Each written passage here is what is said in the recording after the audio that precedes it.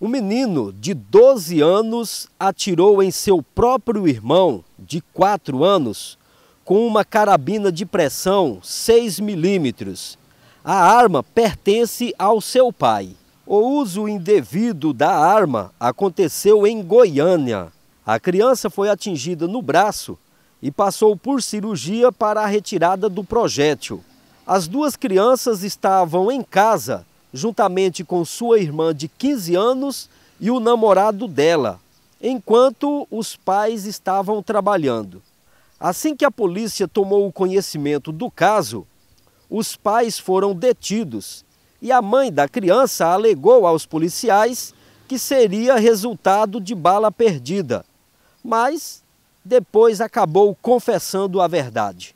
Situações assim servem de alerta para quem tem arma de fogo em casa e o quanto é importante manter em um local seguro, fora do alcance de crianças. Com imagens de Emanuel Banque, Almir Sates para o jornalismo da SIC TV.